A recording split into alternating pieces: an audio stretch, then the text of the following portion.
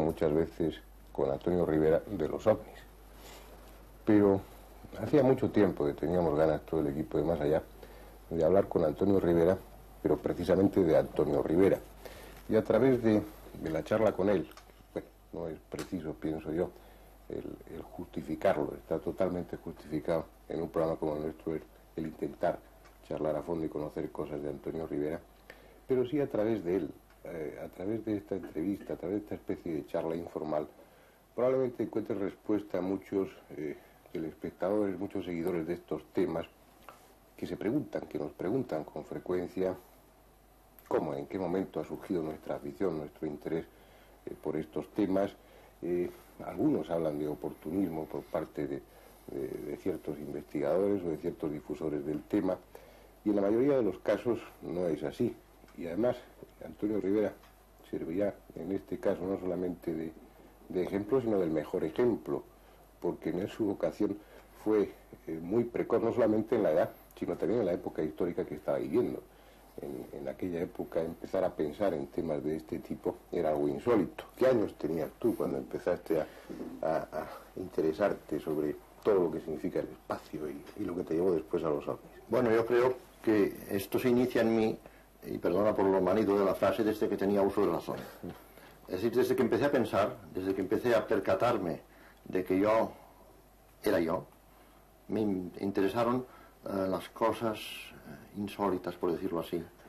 Eh, todo esto espoleado por una curiosidad enorme. He sido un hombre muy curioso y un niño muy curioso antes que un hombre, un lector voraz, te diré solamente que yo saqueaba la biblioteca de mi padre, que era muy nutrida. Mi padre también era un escritor, luego si te parece hablaremos un poco de él. Y hacía unas lecturas y unas mezcolanzas increíbles, porque recuerdo que antes de 10 años me había leído ya Dostoyevsky. Naturalmente no entendí nada, pero me lo había leído. Y luego junto a Dostoyevsky leía a Julio Verne, que entendía más. Leía eh, al inefable Salgari, o Salgari, don Emilio, que me, apasionaba, eh, el capitán, el corsario negro y todas esas novelas. Luego leía Miner Reid, leía James Oliver Curwood, esas novelas que nos servían en Editorial Juventud. Eh, en fin, mm, recuerdo unos cuadernos por entregas sobre Buffalo Bill, muy bonitos, muy bien presentados. En fin, todas esas lecturas que estaban todas a mi alcance. Por lo que tú estás hablando se te puede situar en una época concreta. ¿Tú naciste en qué año? Bueno, yo nací en 1920 en Barcelona, en un sitio tan barcelonés como es la Plaza de les Eps, lo que los barceloneses llamamos la Plaza de los. Allí eh, nací y todavía se conserva la casa de estilo modernista en la que vi la primera luz. Antonio Rivera hacía una cosa que, que es común, o por lo menos es frecuente entre los investigadores, que es coleccionar recortes de prensa sobre hechos insólitos. Lo que sucede es que Antonio Rivera eso ya lo hacía a los 10 años, cuando aún no se empezaba a hablar de ovnis, pero sí se hablaba de, del duende de Zaragoza. Bueno, en, realidad, yo sistematicé la, esta recogida de recortes a los 14 años, en 1934. las fechas en mí son muy fáciles porque eh, la última cifra siempre corresponde a la de mi edad, eh, corresponde con la del año. Al haber nacido en un, en, un año redondo, en una cifra redonda, pues es muy fácil. Ahora bien, cuando tenía 10, o sea, en 1930, empecé a escribir una novela titulada Un viaje al planeta Marte. Naturalmente los viajeros éramos mis amigos y yo, mis amigos de entonces, algunos de los cuales todavía conservo, de 50 años después, y eh, llegué incluso a dibujar los planos del cohete que nos tenía que llevar. Era todo muy ingenuo, era todo muy burdo, la obra, desde luego, no hubiera merecido nunca ningún premio Nobel, pero ni hablar. ¿eh? luego me lié con ella, no la pude terminar porque los personajes se me escapaban. Ya no sabía cómo sacarles los atolladeros constantes donde los había metido, etcétera. Es curioso que, tu primer intento literario sea en torno al planeta Marte, sí. porque el planeta Marte ha, jugado y juega una importancia grande en la vida de Antonio Es una constante en mi vida, es una constante. Recuerdo que por esas fechas leí una novela que me causó un gran impacto, que era la Tierra invadida por Marte, de Henry Alorge, recuerdo todavía el nombre. Y luego también me impactó mucho la gran novela de Wells, La Guerra de los, que leí en francés porque no la tenía en, español y trabajosamente pues la descifré en francés. Pues se me olvidó decirles al principio a ustedes que estamos en un pueblecito a unos 40 kilómetros de Barcelona, en San Feliu de Codines, toda la vida de Antonio Rivera está girando en torno a Barcelona, en torno a su tierra. Su padre, Ignacio Rivera, fue en, una época determinada la máxima autoridad del periodismo español, podría decirse así. Él era además eh, cónsul honorario de la Embajada de Rumanía en Barcelona. Antonio vivió entonces en un ambiente intelectual, en un ambiente eh, que justificaba en muchos sentidos que él fuera cayendo poco a poco hacia la investigación, hacia esa curiosidad eh, que en él es inagotable y lo sabemos bien, pero que todo lo que parecía ser un camino fácil al final no resultó por la guerra civil, como sucedió con tantos y tantos españoles. Todo eso fue un cambio, un quiebro en la vida de Antonio Rivera. Eh, su padre fue encarcelado durante algún tiempo y aquello fue la hecatombe para la, la guerra civil fue para nosotros un, un hiato, y perdón por la palabra erudita, eh, que dividió en dos una, una dicotomía absolutamente eh, irrecuperable en mi vida. hasta entonces yo había sido un niño, un hijo único, eh, colmado de atenciones, no me faltaba nada, eh, tenía, como hemos dicho antes, libros a mi alcance, la biblioteca de mi padre, que era muy importante. He vivido siempre en lo que en, Barcelona llamamos torres, es decir, lo que fuera de, Cataluña se llaman villas. Recuerdo que vivimos unos años en una antigua masía, eh, casa señorial, en la avenida de Vallvidrera, donde yo tenía un inmenso campo de juego había un jardín inmenso en el que mis amigos y yo jugábamos a mosqueteros. Nos hacíamos espadas de bambú y éramos los tres mosqueteros, que como tú sabes eran cuatro. sí, tú tenías entonces, cuando estalla la guerra civil, 16 años. Yo tenía 16 años. Y nada más estallar la guerra civil ya me vi envuelto en una cosa realmente traumatizante.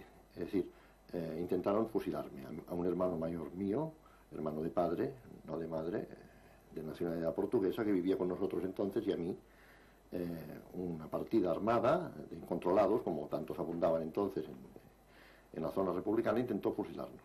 Nos dijeron que éramos un, coche fantasma, el coche de mi padre llevaba la bandera de Rumanía, pero dijeron que esto era una cosa, una tapadera para encubrir nuestras actividades fascistas. Y nos quisieron fusilar. Yo, cada vez que paso frente a la pared donde me he visto con cinco fusiles apuntándome, que todavía existe, desde luego se me hace un nudo en, muchos sitios del cuerpo. ¿Tu padre en qué año murió? Bueno, mi padre murió en el 42 a consecuencia del encarcelamiento y de los malos tratos que sufrió durante la guerra. Conoció íntimamente una de las famosas checas, estuvo encarcelado en una mm. checa y esto destrozó su salud. Tú estabas estudiando filosofía y letras. Yo exactamente. ¿Y por qué interrumpiste? Bueno, yo tuve que repetir el bachillerato dos veces, porque el título que me dio la República no me valía para las nuevas autoridades y tuve que repetirlo. Entonces eh, inicié unos estudios de filosofía y letras que no pasaron de los estudios comunes, porque la muerte de mi padre pues les puso fin.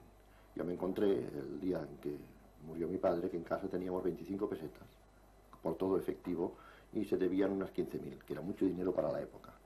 De manera que a partir de entonces yo tuve que enfrentarme resueltamente con la vida para la que no estaba nada preparado, que conste que tuve que hacer tripas corazón y creo que eso me fue muy bueno, muy favorable, me curtió mucho. ¿Qué cosas hiciste para sobrevivir? Yo que sé, he hecho pues infinidad de cosas, he vendido purificadores de agua a domicilio. Eh, recuerdo que saqué de la cama una señora encopetada que me mandó escaleras abajo después, porque ¿usted qué, pretende con eso? Cosas así. Luego, em, durante una temporada me pateé todo Tarrasa y todo Sabadell vendiendo libros de bibliófilo a los fabricantes, que eran entonces los únicos que tenían dinero, y que hacían una inversión eh, comprando libros de bibliófilo. Cuando llevaba una cartera enorme de piel de cabra, en fin, todavía lo veo esto. Surge un hecho decisivo en tu vida, pienso yo, en tu vida intelectual y en tu vida de investigador, y es cuando en un momento determinado, por esa presión económica, vamos a utilizar el término, encuentras la salida, la forma de, obtener el dinero necesario para vivir traduciendo. Empiezas a traducir sobre todo del inglés. Sí. Y creo que ese es eh, un punto importante, esa es mi opinión, no sé si estarás de acuerdo, para eh, que empieces a manejar una bibliografía, empieces a interesarte en unos temas a través de esas traducciones. Bueno, yo tenía el conocimiento del inglés que se tiene después de hacer el bachillerato, que mm. se tenía, que es muy sumario. Entonces tuve que perfeccionar mi inglés sobre la marcha, traduciendo. Un editor amigo me empezó a dar los primeros trabajos de traducción y entonces encontré una forma de subsistir mucho más acorde con mis aficiones eh, y más, más intelectual. En total fueron 300 libros aproximadamente casi 300, que ha traducido Antonio Rivera. En el 43 se casa tiene tres hijos y en la actualidad tiene cinco nietos. Sí, cinco nietos y uno en camino, que será holandés porque mi hija menor está casada con un holandés. Pero hay una faceta en Antonio Rivera que los que tenemos la suerte de ser sus amigos conocemos y que muchos investigadores y seguidores conocen también, pero que gran parte del público ignora. Y es que Antonio Rivera escribió novelas de ciencia ficción. Yo creo que hasta cierto punto es lógico. En total fueron eh, unos cinco títulos, ¿no? Sí, cinco títulos. ¿Qué tal se vendían las novelas de ciencia ficción? Bueno, estas novelas iban encuadradas o arrastradas por la colección, la famosa e inolvidable colección Nebula ¿eh? de Dasa. Eh, yo rompí el fuego, es decir, uno de mis signos ha sido ser pionero de muchas cosas. Es una especie de destino mío ya, del que, por otra parte, me siento muy orgulloso eh, rompí el fuego con, dando mi nombre por primera vez, porque había autores que escribían novelas de ciencia ficción en colecciones baratas. Recuerdo Clark Carrados, Exactamente, bajo seudónimos anglosajones. Y dije, ¿qué, qué, qué, qué, diablo? Yo voy a dar mi nombre, yo me llamo Antonio Rivera, aquí en Marte y, en, y, en California, ¿no? Entonces, pues empecé con una novela de tema submarino que era El misterio de los hombres peces. Mm. Me la prologó nuestro hombre de ciencia y querido amigo eh, Miguel Marriera, el doctor Miguel Marriera. En esa época llegamos a, un hecho que es crucial en la, en la, vida de Antonio Rivera y un hecho que ha sido muy importante para, muchos de nosotros. Lo digo porque nos hemos iniciado en el tema ONI, al menos desde un punto de vista serio y científico, a través de los libros de, de Antonio Rivera. Era poco lo que entonces llegaba aquí. Antonio Rivera en una época determinada, en los años 50, él seguía con esa afición que les mencionaba antes de coleccionar recortes, algo que hacía desde los 14 años, según dice él. Y en la década de los 50, al iniciarse, empieza, empiezan a llegar eh, noticias a la prensa sobre los famosos platillos volantes. Y Antonio Rivera, en ese afán de coleccionar recortes sobre lo extraño, obviamente colecciona también esos recortes y se despierta en él el interés hacia esas extrañas cosas que aparecen en el cielo, esos mal llamados platillos volantes.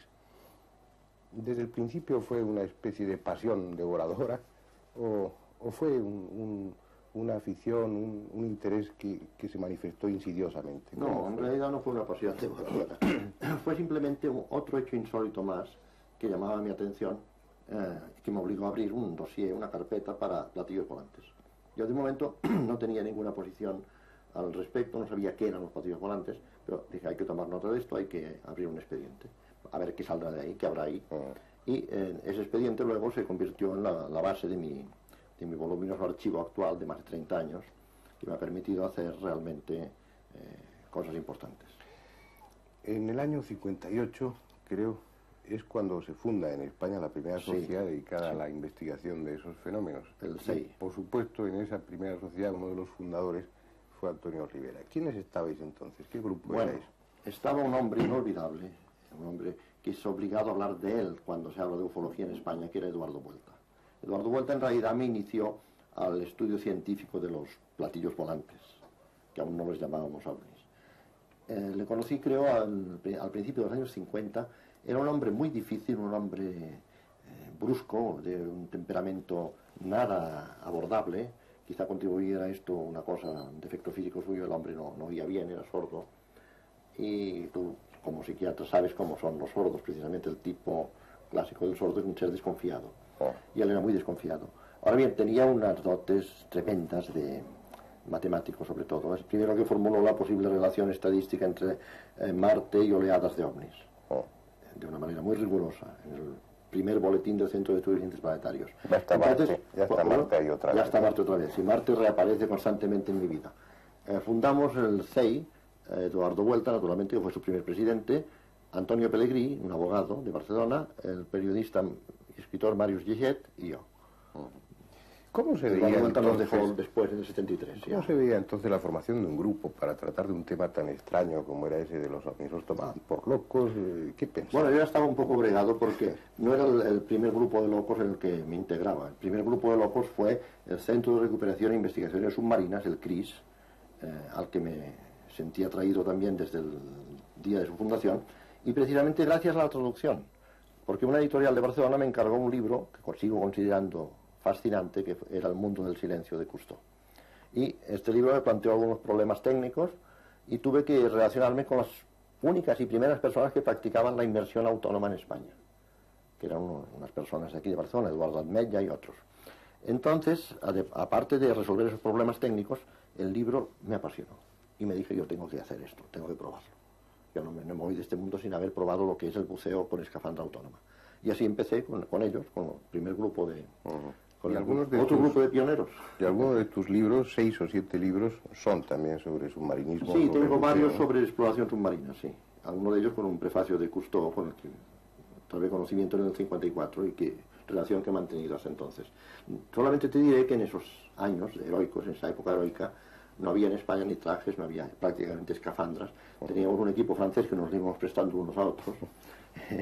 Eh, yo me he sumergido en el Mediterráneo, que en invierno está muy frío, con trajes de lana interior la pastora por toda protección. En fin, pasamos un frío atroz, una cosa espantosa. Estabas, has dicho la palabra, estabas sumergido, pero aparte de estar sumergido en el mar, estaba ya sumergido de una manera eh, pienso que insalvable dentro del tema de los ovnis. Ah, sí. Y como consecuencia, en el año 61 sale tu primer libro, Objetos desconocidos en el cielo. Un primer libro que, por supuesto, no fue fácil de editar, ¿no? En absoluto. Dirigía la editorial Largos Vergara, que es la que me la publicó eh, el fallecido Ignacio Agustí, que tuvo el libro un año entero encerrado en un cajón sin atreverse a publicarlo porque le daba miedo, decía esto no, no se va a vender, nos van a tachar de locos si salimos con eso. Y luego fue todo lo contrario, el libro se vendía muy bien y conoció un éxito enorme. Eso ya te decide a, otra faceta en tu vida, que es la de divulgar el tema de los ovnis. Pero te diré como anécdota que ese libro me costó la amistad de Eduardo Vuelta, porque Eduardo Vuelta se molestó mucho de que publicara un libro en el que hablaba de ortotecnias, la teoría de Michel sobre traslado en línea recta de los ovnis, porque él estaba completamente en contra de eso.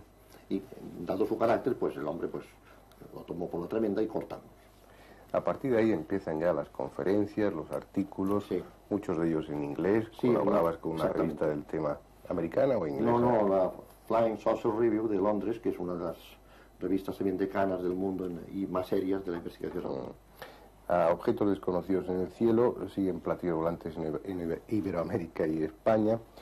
Y luego ya el gran libro, eh, pienso yo, como, como seguidor tuyo, desde que era chaval, ¿Qué es el gran enigma de los platillos volantes? Bueno, el gran enigma de los platillos volantes me llevó cinco años eh, escribirlo a, base de fichas. Es un libro hecho con un método muy riguroso y su núcleo en realidad es eh, objetos desconocidos en el cielo. No hice más que, como digo en el prefacio, añadirle capas concéntricas, irlo ampliando, como poniéndolo al día. Un libro cebolla. Un libro cebolla, exactamente. Pero no hace llorar, eh, cuidado. No hace llorar. No. En total han sido, ¿cuántos libros sobre ovnis? Pues mira, no, no, no acostumbro a, contarlos, pero creo que serán como unos 15, una cosa así. Hay aquí una pregunta que muchas veces se hacen los, los espectadores, lo sé porque me la hacen a mí y, la hacen en torno a ello. Piensan que escribir sobre estos temas es un negocio fabuloso. Piensan que, bueno, en cuanto hay un poco de notoriedad o es un poco conocido eh, el autor y publica un libro de ovnis o de cualquier otro de esos temas que tratamos en Más Allá, que con eso ya se hace rico. ¿Se puede hacer rico escribiendo libros? Hombre, mi gran problema actualmente es el de evadir capitales a Suiza. No sé cómo hacerlo. Me cuesta mucho. ¿Pero te han dado suficiente para vivir? Mira, estoy viviendo en una casa de alquiler, como tú ves, no tengo la, villa con piscina que, todos deseamos. Ah. Me ha costado 30 años de esfuerzo escribir como unos 50 libros, hacer como unas 300 traducciones, para estar un poquito desahogado. Para estar en un momento muy importante, creo yo, y pienso que estarán de acuerdo conmigo ustedes también, para estar haciendo lo que realmente quieres hacer.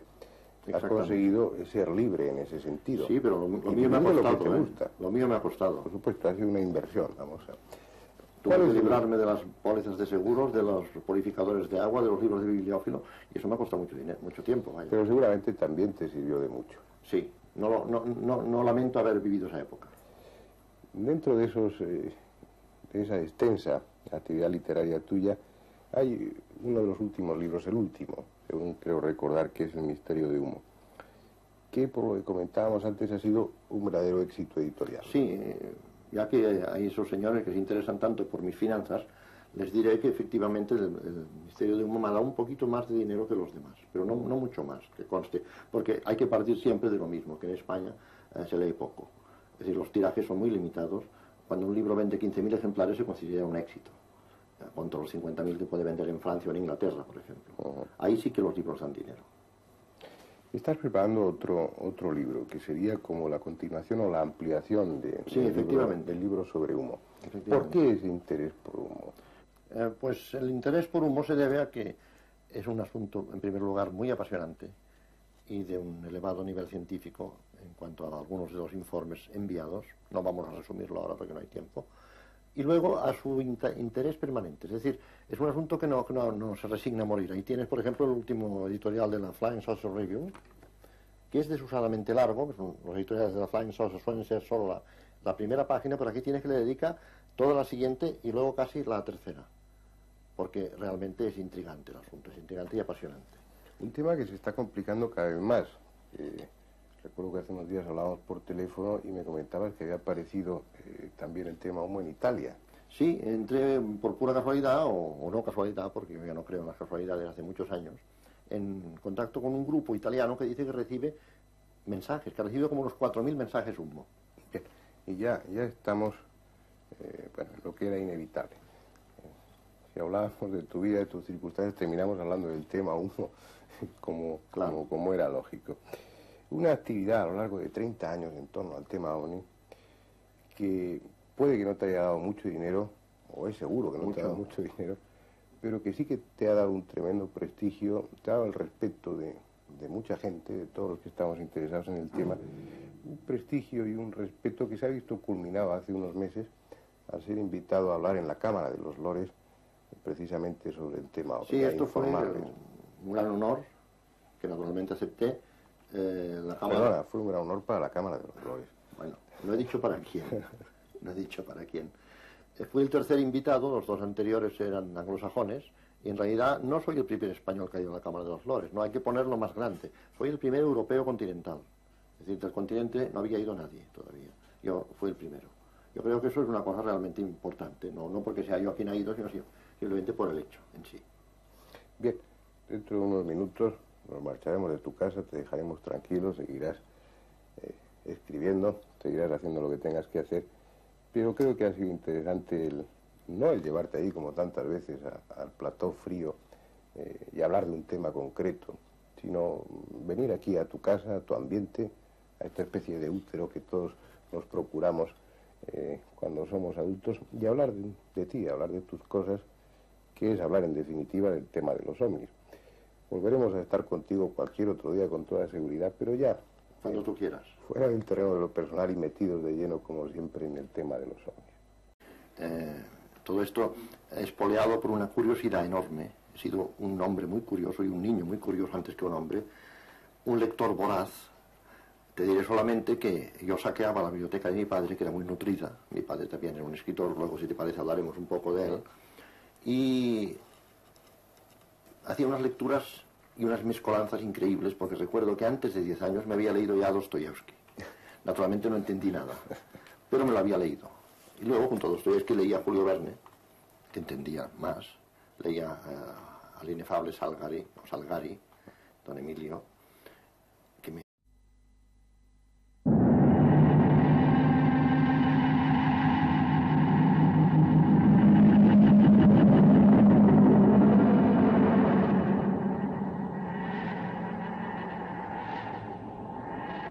Hemos muchas veces con Antonio Rivera de los ovnis, pero hacía mucho tiempo que teníamos ganas todo el equipo de Más Allá de hablar con Antonio Rivera, pero precisamente de Antonio Rivera.